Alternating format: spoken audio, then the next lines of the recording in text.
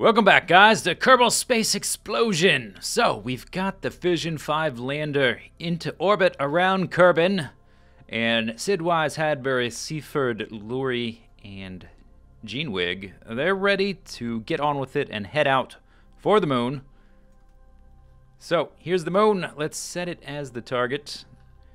And our ascending descending node is about 1.2 degrees. I may try to fix that when we do our maneuver, so it's a little bit less. It probably doesn't really matter, though.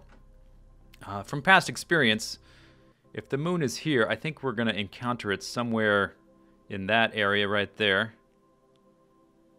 Let's expand this out. Zoop, zoop. So this maneuver right now takes like a minute 35.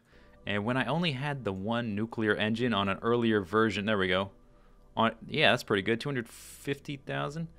Whoa, look at that. I wonder if we can fix that. When I only had the uh, the one nuclear engine, the the burn to maneuver out to uh, the moon, it was like eight minutes, and I couldn't do it efficiently in one pass, and it was just a mess. It needed to be fixed. Let's see, is this helping at all?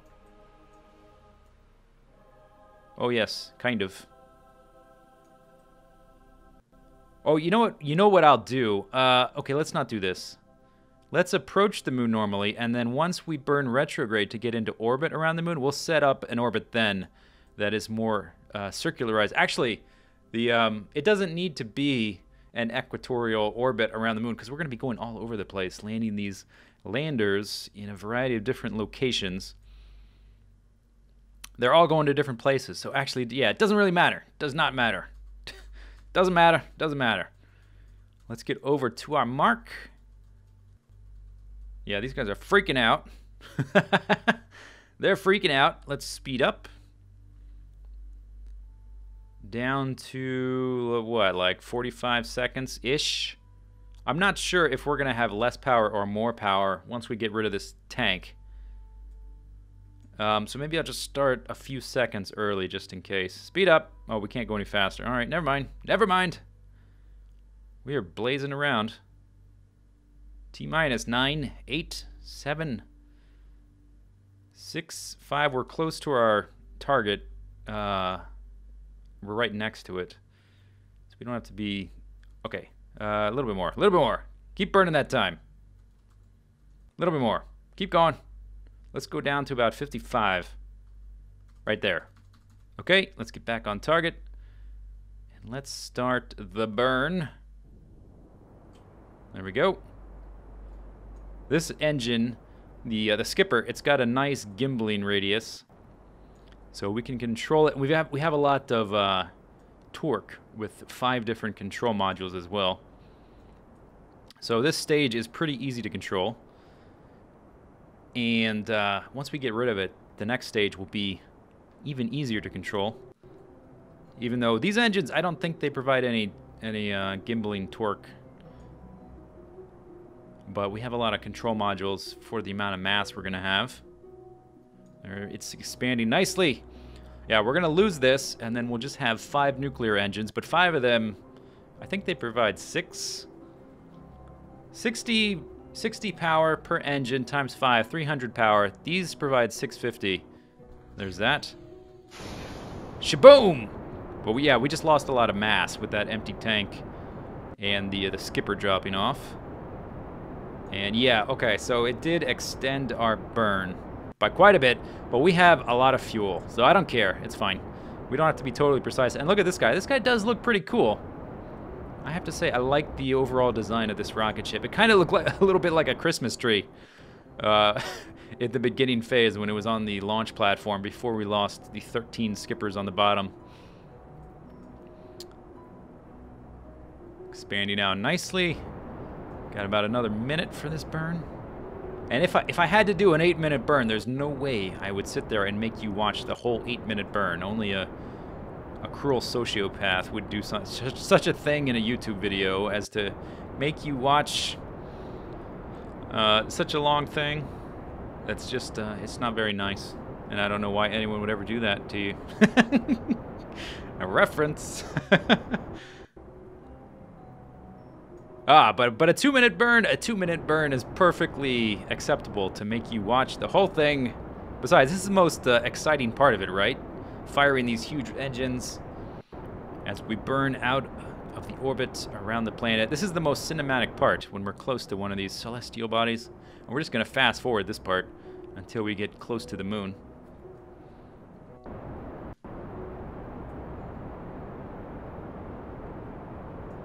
Maybe we should turn the UI off even. Now we have no idea what's going on. I wonder, has anyone ever tried to do a complete mission like this with the UI off, where you can't see how full your fuel tanks are? Can you... Yeah, the pop-up does not show. You can't see how full they are. Um, you can't see your maneuver. You can't see any... Oh, I guess we can see that. Yeah, that would be interesting to play without the, the UI at all. See if you could land on the moon. Get on it, Scott Manley. That sounds like a challenge. Okay, let's let's uh, watch this version now. So, boom, stop. Oh, we went a little too far. Let's see, what did we do? Yeah, we went a little bit too far, I think. Or no, we can keep going, right? To the other side. Yeah, yeah, yeah. Periapsis, that's... We want to... I guess we'll just burn until we get to the other side. We got lots of fuel, why not? I could turn around and burn retrograde. Is this doing what I want it to do, or are we going the other direction? Can't really see where the periapsis is for the encounter. I wish you could see that from here. Moon encounter. And then we do something crazy. Yeah, let's just burn retrograde to fix this. I think I screwed it up a little bit. And we can, let's kill off the maneuver. Because it looks like we're going to fly right into it. We may shoot off, but yeah, I can't really tell until we get way out there what our actual periaps is. Okay. We, uh, we have lots of fuel, as I've mentioned previously, so we can fiddle with things.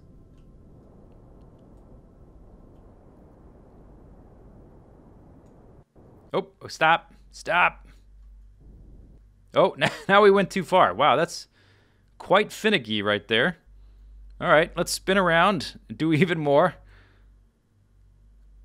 And uh, I was trying to get my periaps to be right at 100,000 from this one maneuver, but maybe it's not quite possible to do it in one step from whatever our current position is, or I just don't know enough about science and rocket technology to do it. So we will uh, we'll just get back into an encounter and we'll fiddle with it once we get out there. I just didn't want to like fly right into the the moon itself, which looked like it, it might happen just the way that diagram looked. There. Periapsis 50 kilometers. I wanted to be a little higher, and that's getting lower. Okay, stop. Fine. That's where we're going. I actually wanted to be up around 100, but uh, whatever, the maneuver just doesn't want to do that. So that's fine. Um, let's speed up and say sayonara to Kerbin. The Fission 5 lander is headed for the moon, or the mun, however you choose to pronounce it. Bye bye. And here comes the moon in super speed. Whoa! And then once we get to about here, let's switch to this view. Why are we targeted on this? We should be targeted on that. that's that's weird. Okay, so periapsis is at 45,000. I guess that's okay. I kind of, I may even expand it back up to 100 actually. So let's, uh, yeah, let's do that because I want to have enough space to be able to maneuver around the individual landers. And we do have a lot of fuel. So I definitely have the fuel to burn to do that. We'll get right yeah, just like that into 100 by 100. And I'm actually, let's make it a little wonkier to give the various landers, instead of making it flat, let's make the orbit crazy like that. Because some of the some of the landers need to land on the North Pole or the South Pole. Yeah, this might actually make it easier. So let's do that, and then let's bring that down to 100.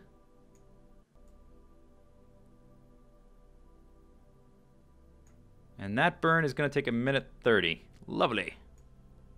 And burn! There we go. Circularizing our orbit. Actually, we're not going to circularize it. It's going to be a little bit elliptical, and then once we get over to here, we will make it 100 by 100, so we have lots of room to look around for nice big craters to land in. And we've got a number of flags showing where we've been previously for science. And I think I'll land all the landers just so I can easily, more easily keep track of uh, new places we still have to land. And then we will uh, fly them back to Kerbin individually. Okay. We are in a orbit. Oh, okay. Camera's flying around like, like craziness. It's coming on. I don't actually really need to watch it from there, so let's just watch it from here. Ah, isn't this peaceful? We have nice, relaxing music. We've got nuclear engines trying their best to overheat. It seems like the nuclear engines are always sort of taunting us with their overheating, but they never really do it. They never really explode. And I feel a little disappointed in that, I think, sometimes. Like I've been lied to or tricked in some manner that I've put these nuclear fusion powerhouses on my rocket and not once have they exploded on me.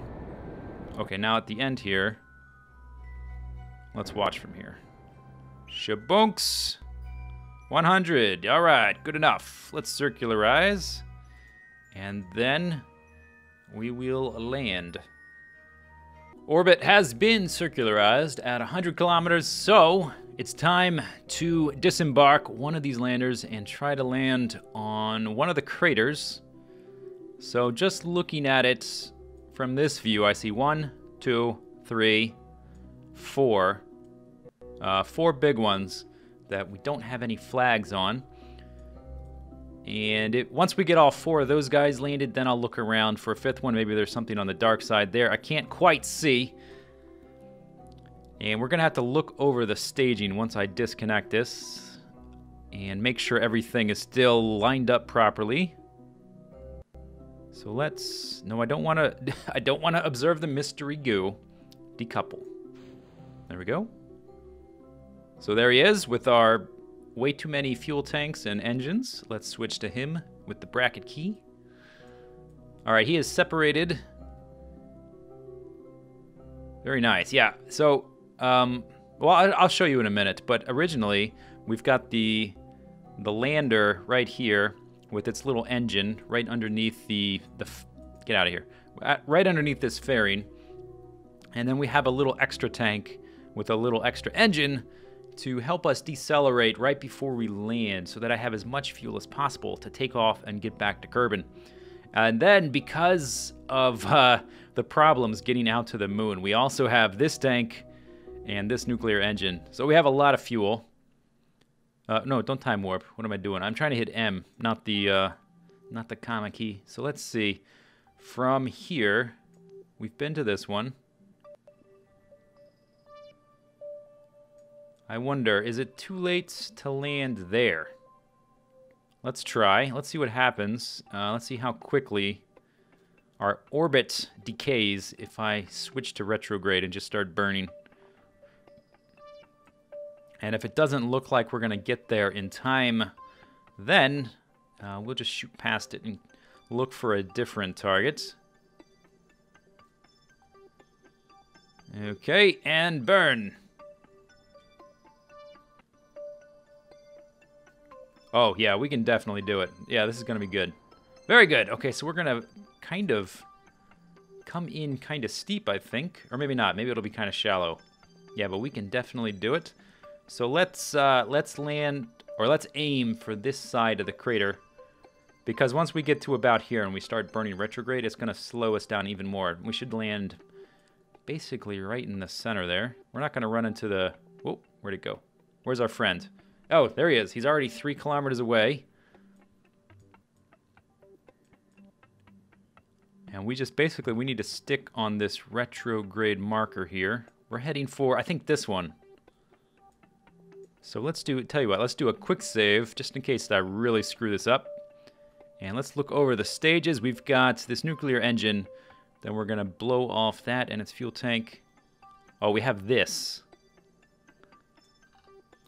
Okay, let's, uh... Can I get rid of this? Or is it just kind of stuck there now? Yeah, I can't do anything with that. Okay, fine. Then we have the engine underneath there, then another blow off, then the engine for the actual lander. Okay, so everything looks to be in order. The parachute is up at the top where it's supposed to be. Let's speed up until we get a little bit lower, until around there.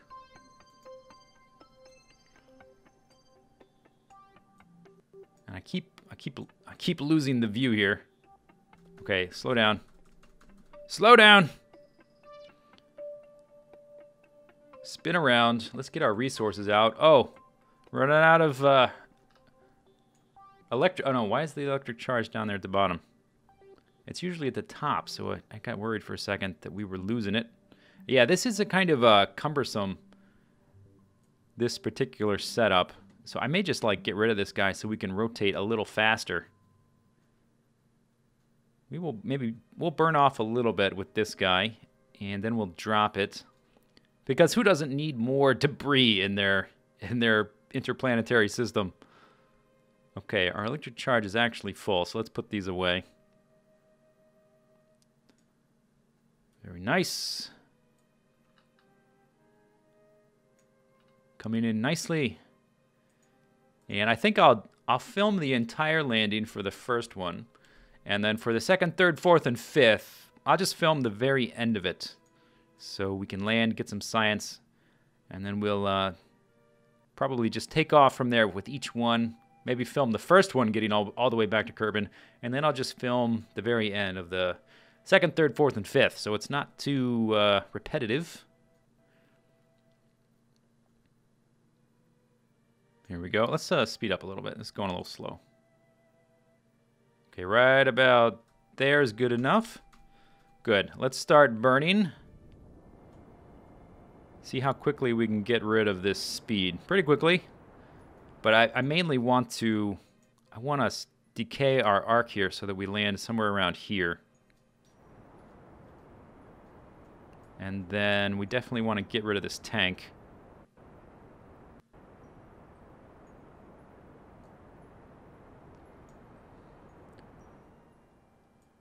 Who would have thought that I would completely over-engineer a, a rocket ship?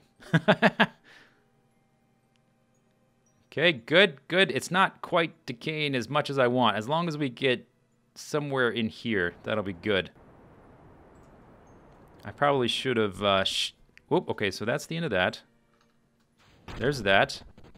Whoa, sound effects. Okay, now we're shooting this one. Good. Maybe it's good that I had that extra bit of fuel. Maybe, no, actually we're not going to need it. And this looks like we're far enough inside the crater to be in the, the quote-unquote biome. I'm going to try and land in this guy right here. This guy right here. Okay, so let's go ahead and cut that, and then uh, we're going to use that to decelerate when we get lower. I'm going to let it accelerate again. And then when we get lower, I'll use it to kill some of our speed, and then I'll drop it off before we land. Hopefully we don't land right on top of it, but that's highly unlikely. And let's see, we're going to land in 1 minute, 20 seconds, so not too long. and I'll just let it keep accelerating for a bit. We're still kind of high up. We're going to be going down into the crater.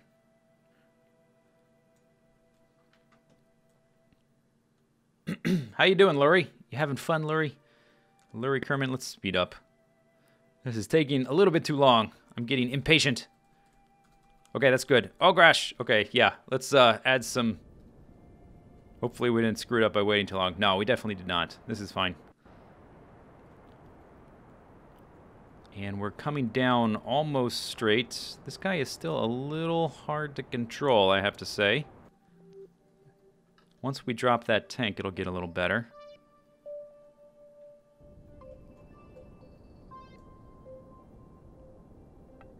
And let's go ahead and put the landing legs out. Kapunk!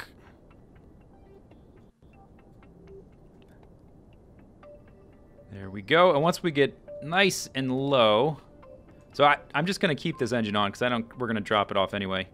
Uh, once we get nice and low, we'll get rid of it. And I actually, I'm going to throttle down a little bit so we don't decelerate quite so fast.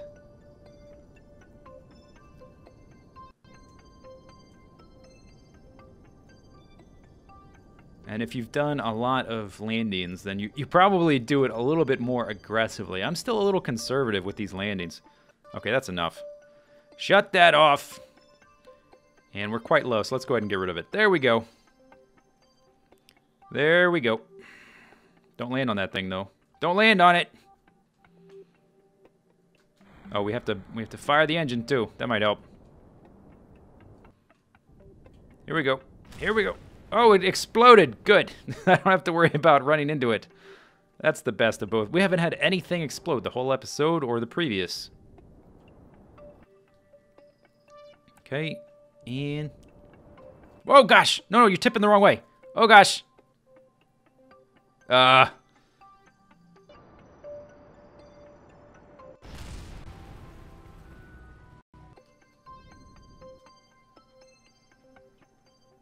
Okay. Phew, that was that's that's much better. Okay, much better result there. And we have basically the whole tank left to get us back to Kerbin. Let's do an EVA first. Actually, no, no. Let's do that last because that's more exciting. Board. First, let's do some mystery goo. Hello, Mr. Magoo, Mystery Goo. Let's keep the data. We learned last time that we won't really know how much uh, the the amount of the science is diminishing until we get the reports and all the different uh, all the uh, the evidence and whatnots. We won't know until we get all the way back. Okay, stop shaking around. We won't know until we get all the way back to Kerbin. But I'll go ahead and log it all anyway. Okay. Let's log some gravity data. 240, yeah. And I believe at least the first one will be definitely full value, and then the next ones will be less. Keep data. Log seismic data, 200. Okay, get out of here. Log seismic data, 200. Good. Okay, so that's those six, or eight, I guess, with the mystery goo. Now, let's do an EVA. Let go. And put your jetpack on, run around do a little flyby.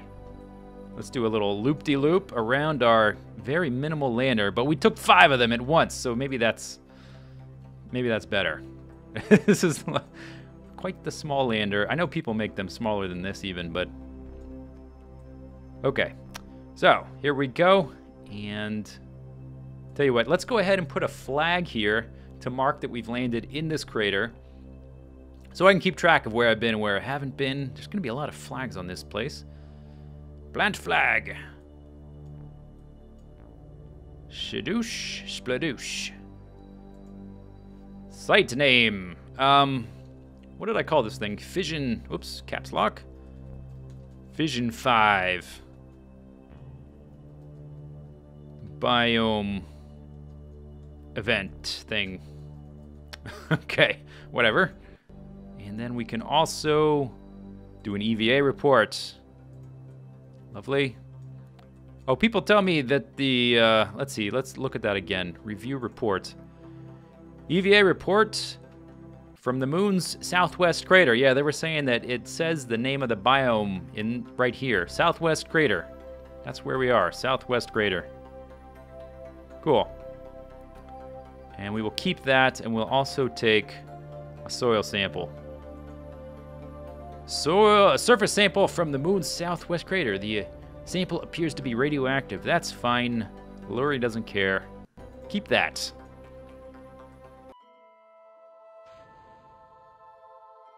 Lander number two coming in hot. So we're on the we're on the dark side of the moon at present. It looks like the sun is just coming up, but there's a mountain there casting this whole crater in shadow, or maybe it's the crater edge actually. I can't actually see very well how far down the ground is. It's really hard to see. We're going to try to make a landing successful anyway. I'm going pretty slow, and we're just going to take this conservatively. I tried to do one of these landings a little more aggressively. It didn't go so well. I crashed in... Oh, gosh, there's the ground. I can see it now. Okay, let's do this. Good. Okay, and just burn retrograde and keep... Whoa! Explosions. Explosions. Keep it under five. We should be fine. There's the tank. Lovely. Smack! No, no, no. No, no, don't tip over. Do not tip over. Okay, we did it. The sun is rising. You can see the shadow. And the, the bit over there is in sun. We're going to be in the sunlight soon. What biome are we in? Let's check. And what does Gene Wiggs say? We are in Moon's Farside crater. Large concentrations of melted byproducts here. Some appear, appear to be formed by intense pressures and heat. Thank you. And here's the EVA report. You start to say something dramatic and poignant about the plight of Kerbal kind in this grand universe, only to be cut off by random radio chatter that the situation is nominal. Awesome. Lander number three coming in, and I had to use a little bit more fuel for this guy than previously because we had to manipulate the orbit so much to land way up here uh, on this the crater way up on the, the top of the, the moon. We're coming in uh, 3,000 meters, although we're not 3,000 meters from the surface. I don't know how high the surface is here. So we're just going to watch it and try to keep our velocity in check try to keep pointed right at that. Okay, let's speed up a little bit. Let's bleed it off. We're getting close. Try to try to keep our cursor there on the little nav ball, right on the the retrograde marker, which right now we're basically going straight down. Here we go, coming in. Here we come. Just needs to be basically like under five-ish. There we go. We're... Too much! Too much! Take off! Take off! Okay, now find your retrograde quickly. Quickly, it's over here. And kill off that... Oh my gosh, what's going on? Why am I flying all different directions? What are you doing? What are you doing, Navball? Okay, but we haven't used that much fuel. That's fine. It's fine. it's totally fine. Adventures in space time. Or, yeah, you know what I mean. Adventures in space exploration. Okay, here we go. Attempt number two. Try not to screw this one up, buddy. Oh, you just... Okay, okay. Carefully. Just don't come in too hot. I'm... There. Sit down, please. Pow Stand up. Okay, lovely. Get out of there, Seaford. Let go. And let's see what this place is called. Oh, and just smash! Smash your face right on that ground. Get up. Because Mickey loves you. EVA report. EVA report from the moon's polar crater. You start to say something. Okay, that's the same flavor text. Surface sample. Intense shock patterns. Okay. Let's move on to lander number four. And lander number four, Hadbury, coming in to yet another crater that we have yet to explore. And looks like I'm gonna have a little bit of extra fuel on this one, so let's just keep this extra fuel tank, let's just keep it going, slowing us down very slowly. Every time I try to come in more aggressively, I screw it up royally. Maybe I should try that with a, uh, a lander with more, more engines and more thrust or something so we can slow down faster.